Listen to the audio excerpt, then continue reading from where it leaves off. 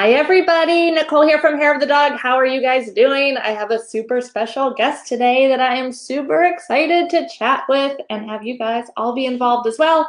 I have Shelley Paulson from Minnesota up there. It's still snowing up there? My aunt in, uh, in South Dakota, I think, just got snow yesterday. Yeah, the northern Minnesota is still getting snow, but we have um, actual leaves forming on the trees. It's oh, glorious. so hard to believe it's been like 80s down here for the past couple weeks already. Um, anyway, um, Shelley is here. Shelley is one of my most favorite equine photographers. I think you're an equine photography genius. Um, oh, yeah. So I'm super excited to have you here with us. Uh, why don't you tell us just a little bit about about you and what you do? Well, I am solely an equestrian photographer. A lot of people are like, what, you only shoot horses? Like, you don't do babies or weddings or families? And I mean, every once in a while I'll slip one of those in, but um, I used to be a wedding photographer and then I had um, an accident, hurt my head, and weddings were just way too stressful. So I was like, I wonder if I could just make a living just doing horses. So I dove in and now I am making a living solely photographing horses. That's fantastic. Yeah, weddings. I couldn't imagine. I, I have some friends that do weddings that love it. I think you either love it or like will make you crazy. you know, I loved it when I was doing it. Like yeah. I have to say that there were so many years when I was super passionate about it. And um, it was probably the best training ground because yeah. all day long you're presented with challenges of light and location and moments and camera settings and which camera and which lens and you have to make all these decisions really fast and so i think it actually gave me a leg up especially for the commercial work i do because yeah. i'm often need to use, you know, off camera flash or other kinds of situations where I have like very little control over what's yeah. happening. Um, and so I, I feel like it was photography boot camp. And if a photographer hasn't been through like the gauntlet of, of wedding photography, they've really missed a, a, a intense learning opportunity. Yes, for sure. No, it's so true. Um, yeah, because I mean, you have to be able to produce in any situation that is changing all day long. I know for me, just from finding inspiration for um, like style and images that I love and things that, you know, that just like, just work that I love to look at. There's a lot of wedding photographers that are like some of my most favorite photographers because they can produce some like pretty amazing things. Um, so yeah, so I always tell people to to look outside of whatever genre you're shooting. Like yeah. look outside the photography industry, but at least start looking outside your niche for inspiration yeah. because otherwise it all just starts to look the same. that is that is 100% true. And there's still wedding photographers whose work I will follow and look at because they're innovators. They're yeah. um, like like two two man the the Manns. They are just like they're always just doing things that are so outrageous and crazy and it's like I get really inspired looking at their work. Yeah, nice. Me too. Me too. That's fantastic. All right, so awesome. So yeah, so you used to do weddings. Now you do horses why why did you choose horses? Why what what started your love of horses? I know for me it runs deep from when i was um, eight years old. I had done like gymnastics and tap and like all the things you know for one season or one like you know 12 week lesson program that i'm like nah nah. So i wanted to ride horses. My mom's like okay. And then the first lesson you know i learned how to tack up and like clean the stall and brush the horse we didn't even ride so my mom's like you think gonna last. Well yeah. I'm 42 and i still like want to go to the barn every day and um, yeah, bought my own horse again.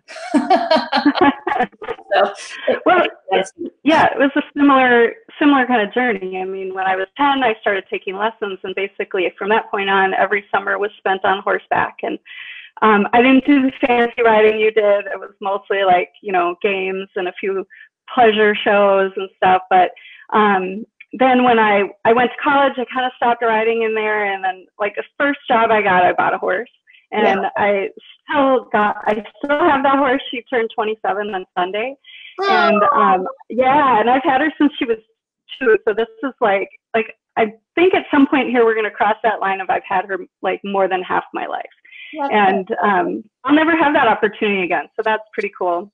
Yeah. Um, I was actually working in graphic and web design, and more and more of my clients wanted photos.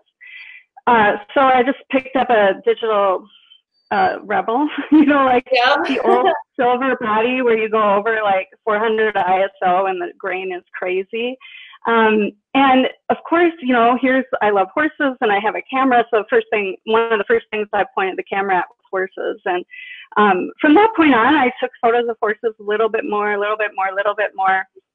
But it really wasn't until I quit weddings that I had like the, just the space to really go full on um, with the equine photography. But yeah, for sure, um, just started with a love for the horse. And then when I picked up the camera, it was kind of like, well, of course, these beautiful creatures that I love so much should be photographed. nice. That's kind of how mine started too. I started with, um, I was a zoological animal trainer for 13 years and I was always taking ah. animals that I worked with, not having any clue what I was doing, you know, like on people yeah. professional, like uh, no idea. Right. but, uh, and then when I, I knew I had like an entrepreneurial bug and I didn't want to like continue working for somebody else. And, um, you know, I, I still love my job, but I was kind of like middle management. So I reported to the executive director and it was like, you know, I just, I lost the spark of my, the reason that I went into that world.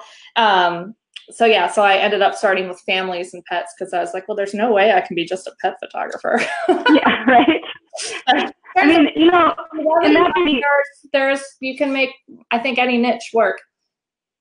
Yeah, and I think I think it's becoming more and more possible. Like I feel yeah. like five, ten years ago, maybe there wasn't a market for it, yeah. but now it's common to be photographed with your pets. Yeah, and which is yeah, yeah, yeah, which is really awesome because I think people sometimes get a little bit um maybe not frustrated is the right word, but like put off a little or, or a little doubtful that they can make, you know, like pet photography, equine photography work. But the more of us there are, the more potential clients there are because there's more market education and more people know about it. So all of a sudden, as there becomes more of us, there becomes more potential clients to draw from because you don't have to spend as much time educating people that you exist. yeah, or that it's a good idea because, yeah. yeah, like I mean, I can't wait. I have a friend coming in a couple weeks, and I can't wait for her to photograph me with my dogs and my horses, and I mean my my husband too. But um, you know, just like like I can't imagine even if I wasn't a photographer not having photos with the pets that I love because you know the older we get, the more we know how frequently we have to say goodbye to them. And and now as a photographer i see that cycle happen a lot. And so it's really a privilege to be able to kind of freeze those moments for clients. For sure. Absolutely well, speaking of clients, who tends to be your your main target client? Well, my business is divided into kind of three different parts, and um, portraits are a part. They were kind of the original foundation, and yeah. then um, I broke out into commercial work a couple years ago. I mean, I did some in 2009, and I was super overwhelmed. I wasn't ready, and so, um, but a couple, maybe like three, four years ago, I started doing more commercial work, and then really shortly after that, I started licensing more and more images to publications. And then in the last year, I've started doing some writing, which is terrifying. and, um, but it's gone well. So, but I'm just like, oh, how much writing do I want to do when it makes me this nervous? Right. But, uh, you know, so it's kind of a three part business. And then, in just in general, I have a stock photo library that I license images to um, publications and brands. So there's a little bit of overlap between the brands and the editorial with my stock library. Awesome. Awesome. That's fantastic. I think most of the people, most of us, I mean, I, I know even for me, like I, I think I could handle the pressure of commercial, but it doesn't fit my lifestyle because got two young kids and like the last minute of the commercial world, like we need this and we need it yesterday.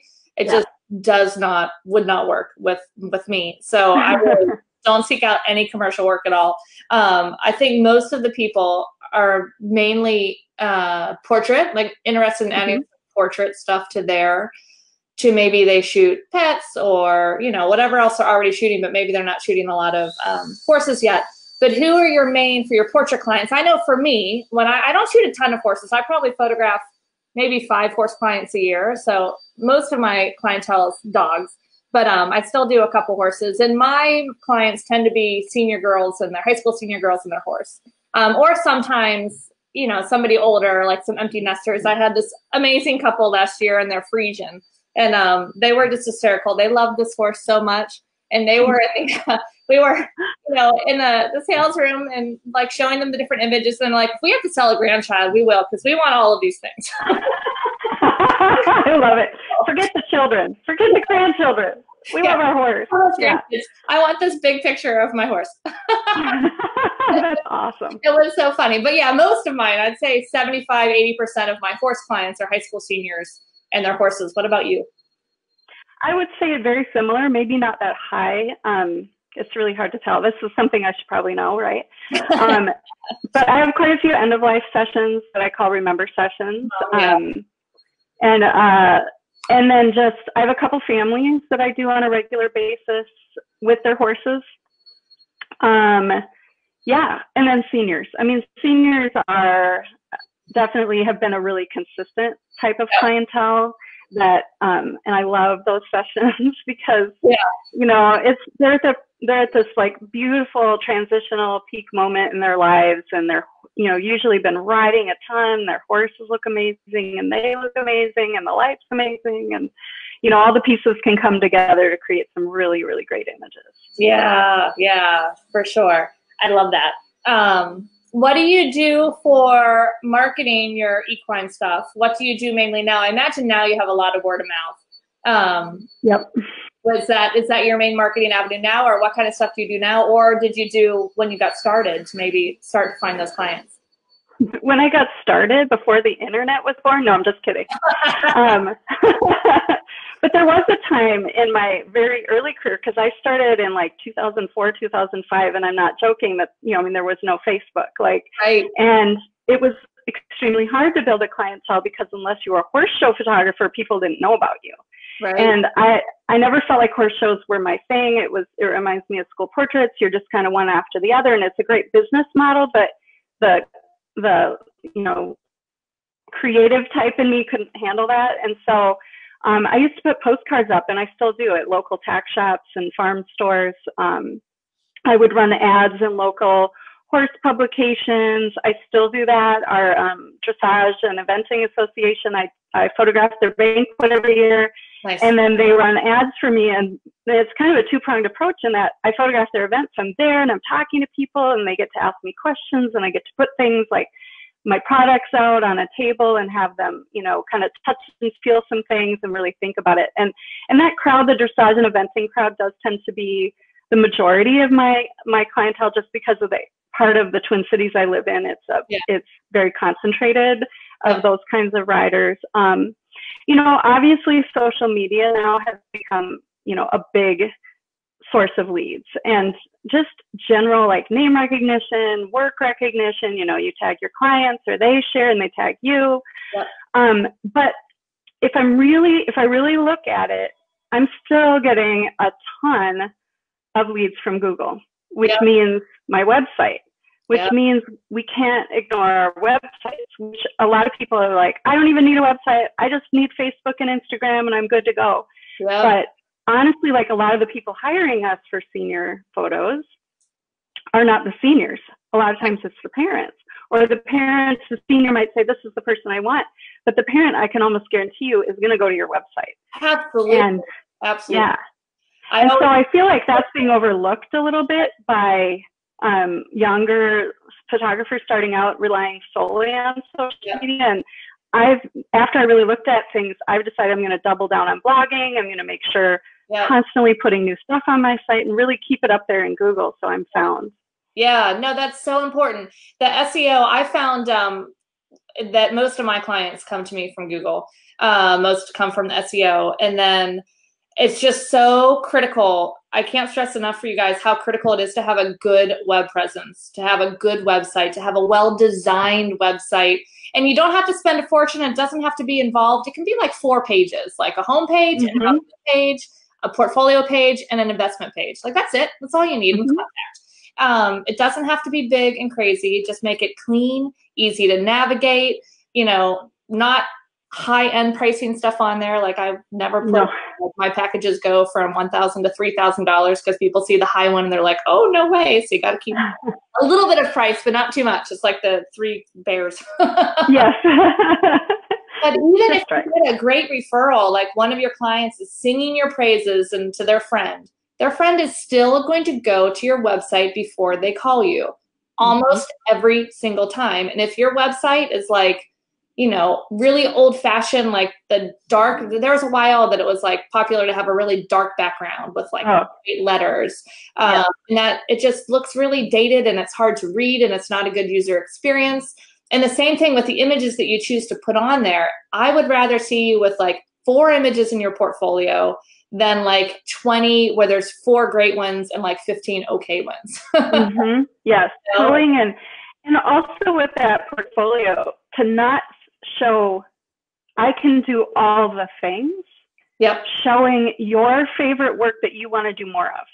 I yep. see so many people being like, I want to show that I'm just like everyone else and I can do these portraits just like everyone else. And I'm like, no, because if you if your work looks the same as the next photographer as the next photographer as the next photographer, you will be shopped on price. Yes. And never win that. never win that. And so I've endeavored to create work that's true to my heart and true to my aesthetic so that I can um, really get people excited about hiring me versus somebody else and un- feel like the investment is worthwhile. Yes, yes, yeah, for sure. Um, my good friend Kaylee Greer, you guys know her from Dog Breath. Um, I was talking to her like a year or two ago, and she totally changed my perception of like how important it is to curate what you show. Like you can shoot different things, but you really need to give some thought as to what you're putting out in your portfolio and your social media and to curate it to be the style that you want to be known for, to be the images that you want to create, the images that speak to your heart. You can still do other things. Like, mm-hmm. you know, she still shoots natural light for half the shots that are shoot. She just doesn't show it. Um, yeah. you know, like I will do a studio session for a client, but I don't really show it because I don't want to do more of, you know, so if it doesn't fit in my curated style, it just doesn't get included in that kind of thing. So that kind of just changed the way that I really thought about what am I showing and like how am I presenting my brand and my work to to the world. Um, so yeah, I want to share that. Yeah, I think. yeah, I think. I mean, we could do a whole webinar just on websites. it's just, yeah, well, and isn't that, that's part of your business course, right? You talk about yeah, yeah, yeah. that in your business sure. course. Yeah, okay. it's it's so important. It's so important um, yeah, SEO, and there's a ton of great resources on SEO out there. Like if you just Google basic SEO, like top mm-hmm. 10 SEO things, I mean, yeah, there's it's not, not that complicated. It just requires yeah. a consistent effort to at least get it started. And one of the big things with SEO is the length of your website. So that's something that does just take time, but there are tricks to get it going a little bit faster, like some backlinks from other sites you know, signing up for the webmaster tools on Yahoo and Bing and submitting your site to be crawled by them so they know that it's there. Um, you know, your Google My Business, which, oh my God, when I moved, I think my Google is still screwed up. So we moved from Pittsburgh to Charlotte. We built a house. So it's a brand new house on a brand new road that didn't exist. Oh no. So it's been super fun. I mean, it took a month before they would pick up my garbage. So. Oh my gosh. moving is horrible. I mean, it's worth it, but it's horrible. Yes. Yes. Oh my God.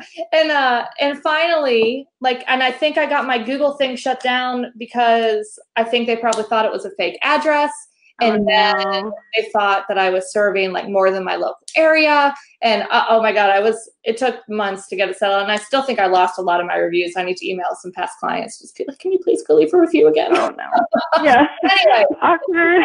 to have that, but yeah, it got super frustrating. yes.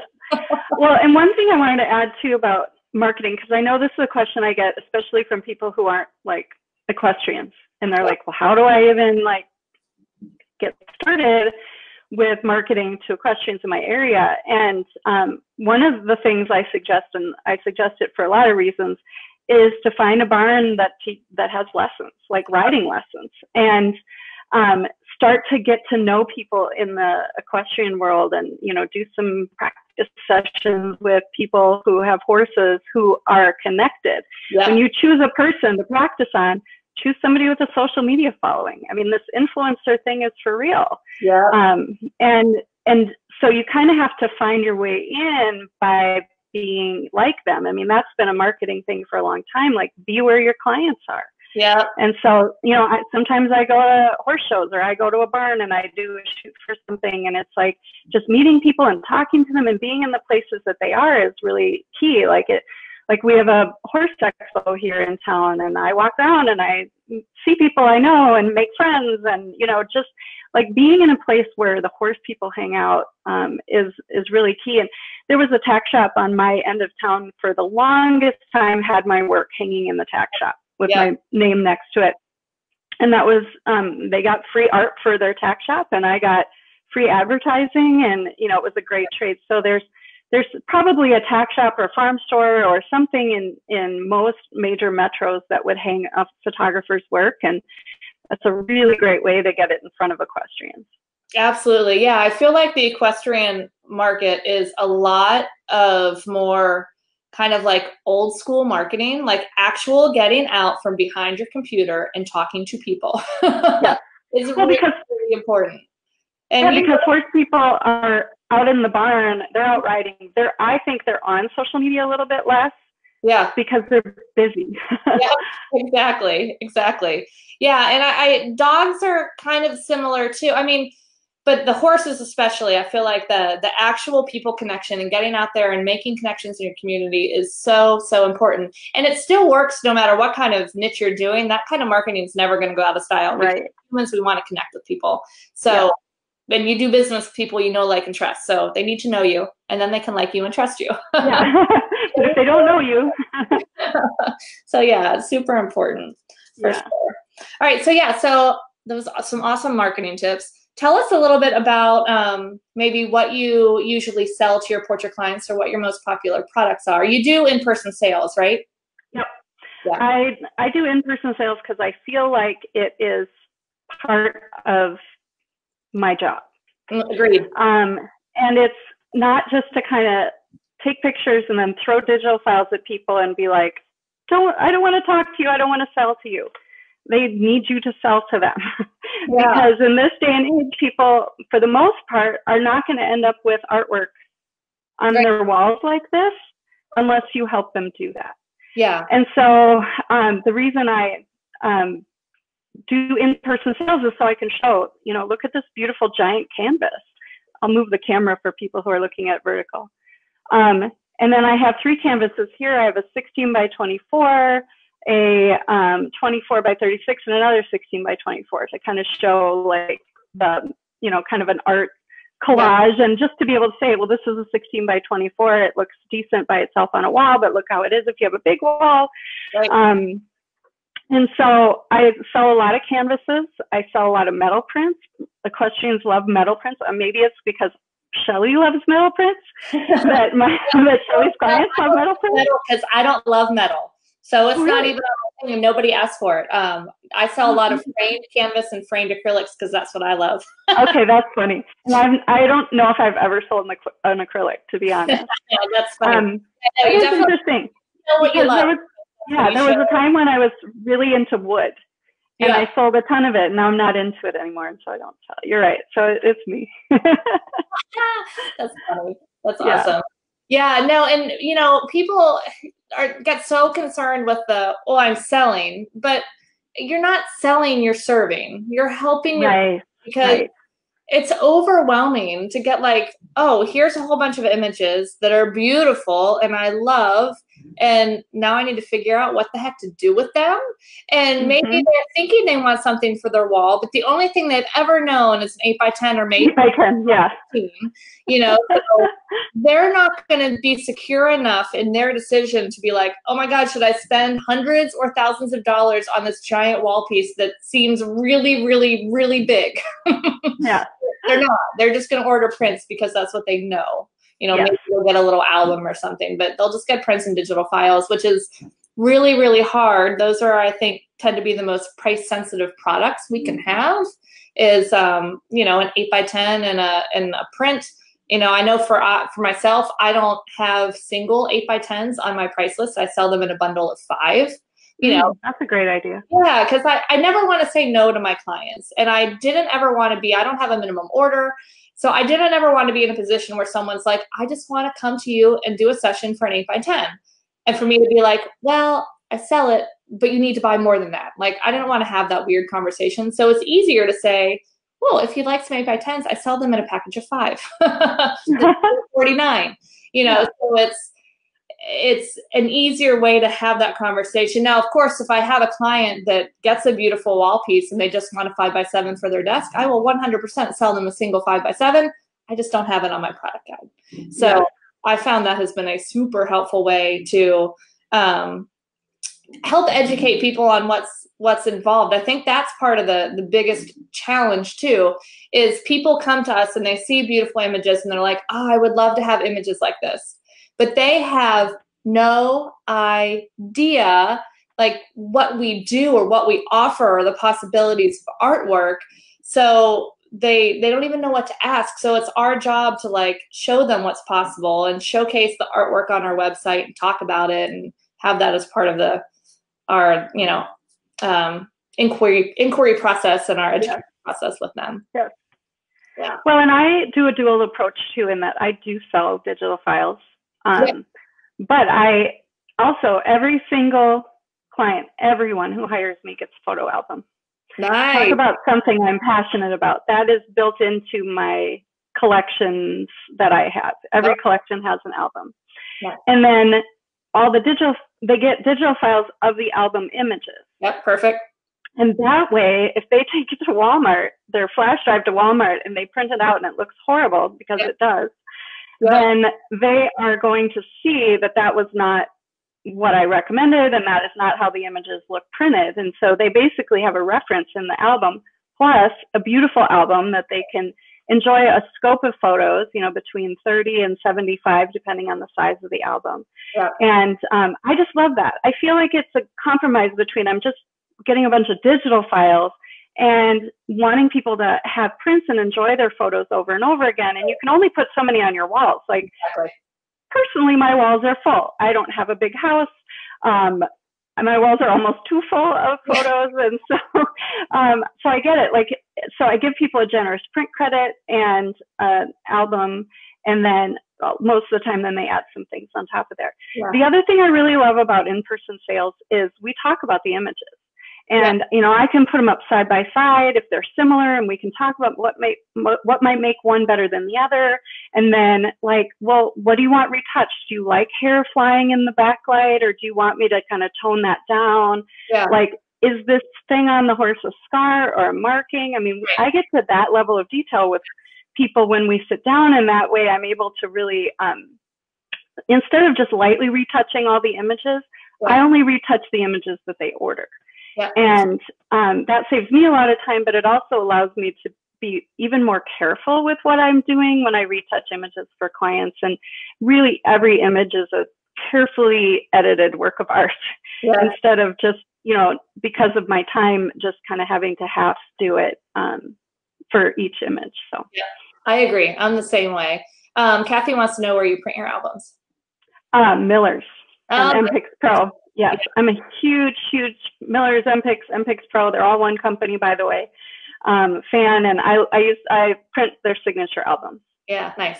I do my albums from Finao, and um, I my low end and my high end albums Finao, and the Elements and the Art One, and then my middle album is the press album from Pro DPI. Um, oh, okay. It's my most popular because it's the middle one. Because then people buy in the middle. yes, yes.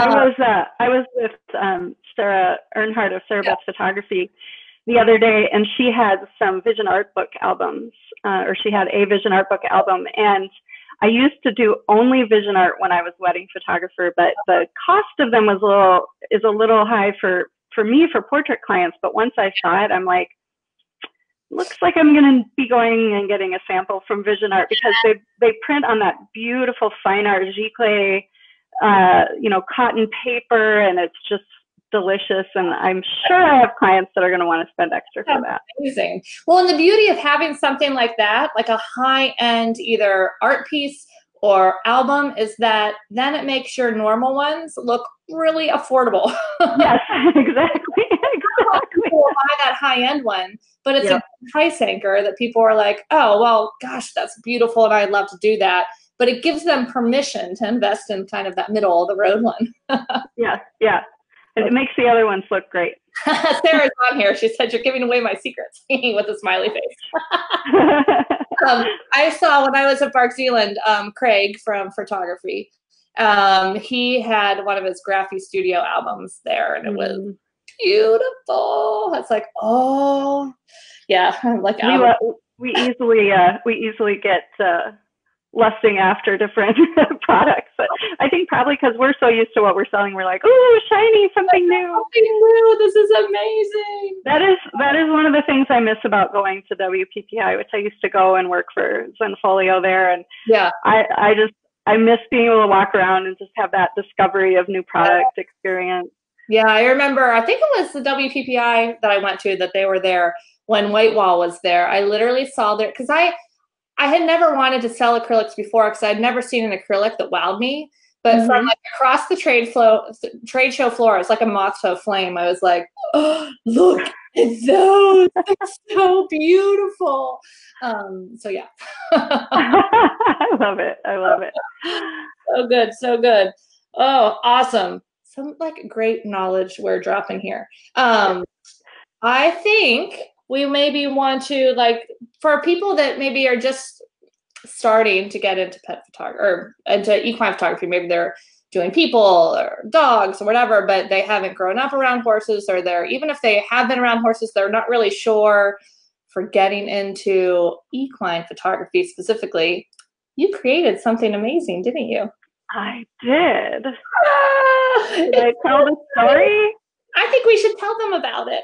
I think so. Okay, so this is the little announcement I was hinting at. And I don't know if you follow me on social media, you might have uh, seen a post earlier this winter about I was asking for ideas for an ebook, for a, like a bunch of ebooks possibly. And I got some great ideas. And then Nicole reached out to me and she says, Can we talk? Now, those of you who don't know Nicole, she is just a fantastic pet photography educator. And she has great systems in place and tons of knowledge. And she's like let me help you. And i said please help me because this is not my area of expertise. And really like the you know selling ebooks and and and creating educational content yes i have a youtube channel and whatever but i'm a little bit haphazard. I'm not like a super focused you know person. So know, knowing nicole and knowing how smart she is and how successful she is i was like yes please let's talk. And uh, so we have some plans but our plans started with an ebook that's uh, focused on getting started with equestrian photography and we named it the quick start guide to equestrian photography and it's 30 pages of goodness about safety and about handling horses and about posing and what am I forgetting? Things. Yeah, we have the horse behavior on there, Yeah. working safely. Shelley's tools, her favorite camera, lenses. Camera settings. Yep. Preparing the horse and rider for the session. Um, getting all those ears up, why it's so important, and all the little tricks because horses are not like dogs. Usually, dogs, most of them, um, you know, you can get some different sounds, and there's a sound or two for horses, but they, they're a little bit, I think, harder than dogs. Yeah, I would agree. You get a Yeah. good squeaker on a dog and you're you're usually good for a while. yeah, yeah. Um, and then yeah, and then posing horse and rider because I know when I started shooting horses, pho- photographing horses, um, yeah, you have to be careful with that one. I um, you know, I get out there and it's funny when I photograph dogs, it was so much like dog, dog, dog. Okay, then I bring in the owner and I do some stuff. But when it's the horses, it's like the horse and rider for the majority of it, and I do just Mhm. the horse by itself. But it's usually the horse and their owner for the majority of the session. And I was just like, how do I start creating variety? Um, because this is hard. Yeah, it is hard because you got like this thousand pound flight animal that you're trying to like get them to stand some way and a human to stand a certain way, and then there's chaos all the time because horses move a lot and Yeah. um, so I break down a bunch of poses. It's it's interesting because a lot of people think I don't pose people, right. and the truth is I pose everyone all the time. yeah, I just I just don't heavily pose. Like I don't have I don't pose down to the fingertips, you know, like I just generally give people enough direction so that they feel um like confident in what I'm doing and Mhm. confident in their pose. And then I kind of let the magic unfold. And so that's um what I do is I basically share my framework of what is it about eight different eight, yep. six to eight different poses um, of just kind of how I directed them into that position and then what happens after that. So that's a that's a big part of the book, and I think it's something that um, somebody, especially who hasn't had a lot of experience with equestrian photography, is really really going to benefit from. Yeah, absolutely, and you know the when you're photographing, especially a high school senior, like they're they're and even anyone, any human in front of your lens is going to be like, I don't know what I'm supposed to be doing. So yeah. by being able to give them that like light direction and kind of set them up and say, okay, now do this and bend this way and like make sure you turn a little bit this way. And you tell them, you know, I one of my favorite lines is if it feels uncomfortable, you look great. yeah, right. that's, that's very true. The random you feel sometimes, the better it's gonna look but um but i think it's so important so that they then become more confident and comfortable in front of your camera because you're telling them what to do in a nice way. And you're telling them oh my gosh this is beautiful. You can show them like a back of the camera. I give them a little sneak peek. Look how gorgeous Me too. yep. Yep. And then they just they they start to just relax. And then you can really start to create that connection which i think you're masterful at creating that connection. You talk about that in the ebook too about how you can really yeah. get that connection um, between horse and rider, which is just mm-hmm. what, what people want. That's why they're hiring you. Yeah, totally. They don't just want all posed portraits. And so it's right. like, how do you make that transition from the posed portrait to the moments between them and their horse? And uh, yeah, it's, it's, um, I know when I'm photographed, if I'm not, if the photographer's not talking to me and giving me positive feedback, I get super nervous. Yeah, right. and so yeah, so posing, I think, is um, a, like just critical. Like you can't not go into a, a session and without poses. And um, maybe you could share about kind of our little extra yes bonus yeah, sure. that will help people with that. Yeah, you know when you get to a session, you're like, oh gosh, I wish I had that here because I kind of forget there was something. What exactly was it? Ooh. As part of the ebook, we have a little um, sticky album, like mobile app that you can download on your phone that has all of Shelley's favorite poses in it. So you can just be like, hold on. Okay. yeah, this one. Okay, you're doing it on the you're doing it on the fly. Like, oh, I need to check my camera here really quick. or the horse is like walking around for a second. You can just say, go ahead, take him for a little walk right there, and mm-hmm. then you know, and then and you can be ready to go. So that's part of it. It's super cool. Um, yeah, Holly wants to know if there's anything about choosing locations. Uh, there's a few sessions she's had with horses. Oh, hold on, where the locations can be messy. We don't have mm-hmm. locations particularly in this one specifically because I don't know about you, Shelley. I pretty much almost always shoot at the barn that the horse lives at 90% of the time. Um, and really, it's just about, you know, anything with photography is always like, um, it's kind of the opposite of a, a, painter. Like a painter has a blank canvas and you're adding things. In photography, we're subtractive. So we're like, okay, there's all of this. We don't want all of this. How can we subtract? So I find a long lens, and you can usually find something. There's fence lines, there's a side of a barn, there's, you know, beautiful light from the if you close the barn. I mean, you're up in Alberta, so there's definitely indoor places because you're cold. Mm-hmm. Beautiful just doorway light. You know, there's there's things you can usually do at every spot.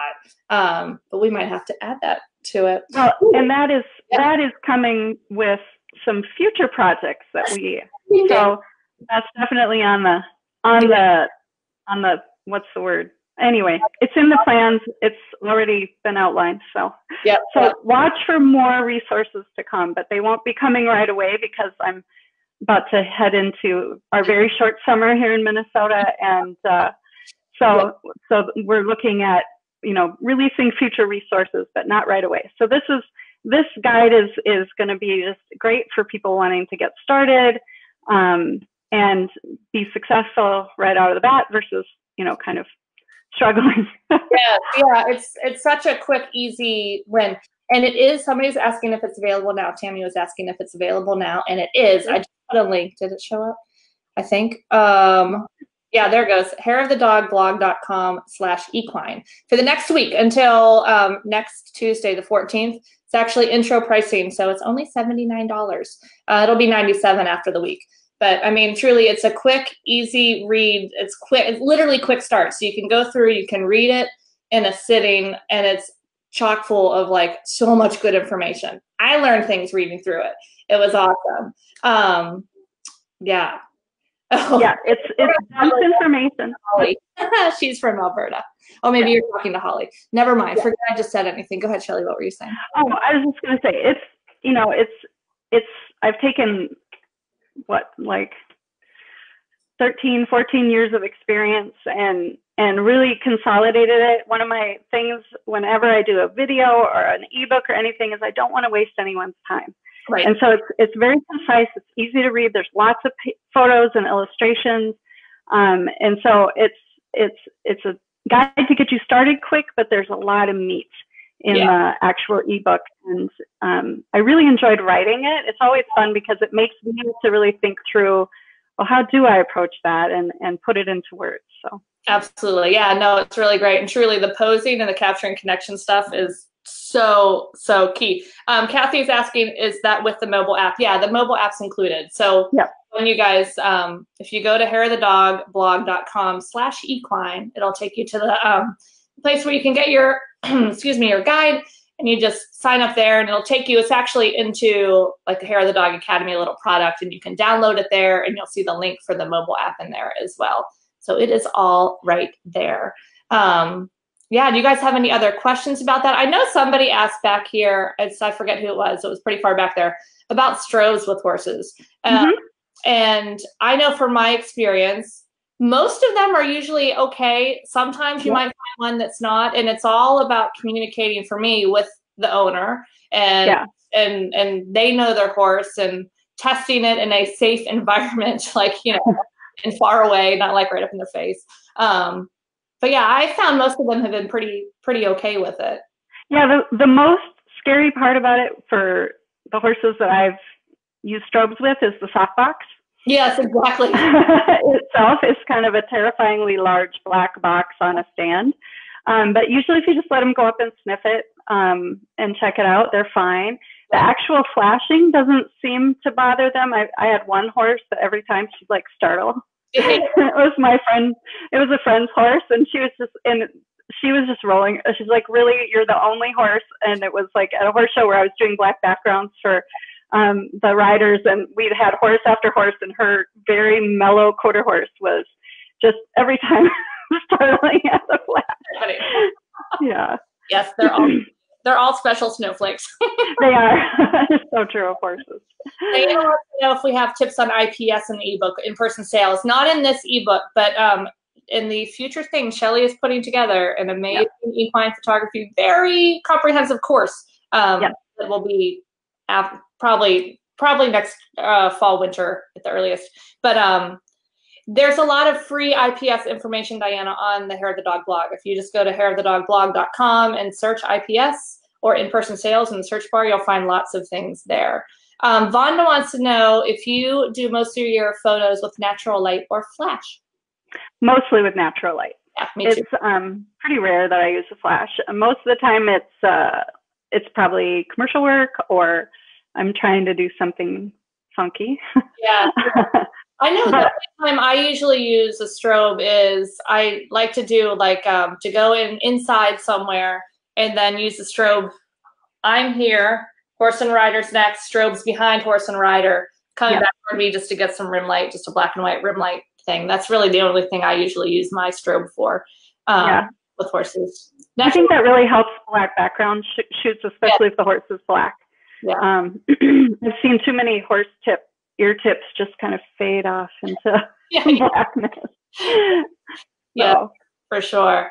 Awesome. Well, thanks so much, Shelley, for joining us. I think this was like so much great information. Thank you, all of you guys, for joining us. I really appreciate you taking your time out of your day to join us here. Um, you can check out the guide over at hairofthedogblog.com slash equine and you can save some money. Um, it's only $79 until next Tuesday. So hopefully you find that helpful and um, we'll see you around the Facebook group. Thanks for having me. Of course.